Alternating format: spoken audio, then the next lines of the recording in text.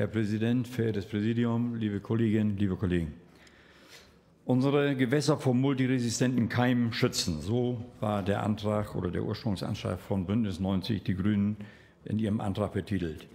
Der Ausschuss hat dann ein Wort ausgetauscht. Nun heißt der Titel Unsere Gewässer vor multiresistenten Bakterien schützen.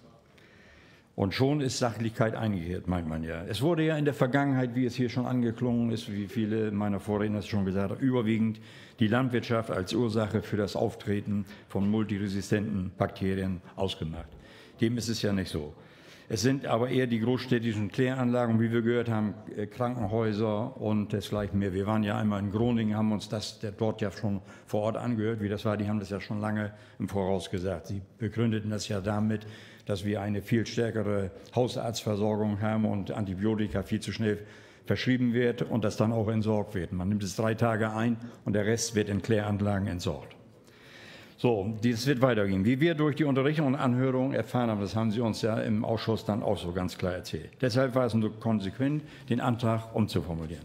Dass Sie nun aber diesen zugegebenen, abgemilderten Antrag von der GroKo jetzt nicht mittragen, äh, liebe Kolleginnen und Kollegen von den Grünen, das kann ich irgendwie nicht nachvollziehen.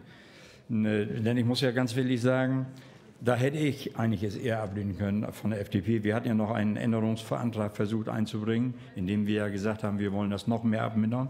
Aber vielleicht war der Antrag von uns zu abstrakt und technisch zu versiert. Vielleicht war unser Vorschlag wirklich technisch zu weit in die Zukunft hätte gedacht.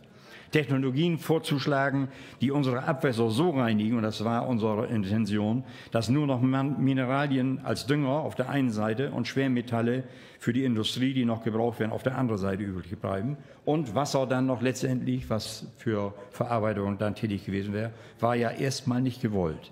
Da Sie mich aber ja kennen, und so ist die FDP ja auch gestrickt, auch in kleinen Schritten voranzugehen, habe ich ja gesagt, ich ziehe meins zurück, weil Sie ja in Ihrem Antrag stehen hatten, dass wir auch weiterhin Unterrichtung erfahren wollen und uns dann vielleicht noch schlau machen und können diese Sachen, die ich ja schon versucht hatte, mal einzufädeln dort, das im Nachgang machen. Also Sie sehen mal, die FDP ist mitfühlend und äh, erfolgsorientiert nach vorne blickend.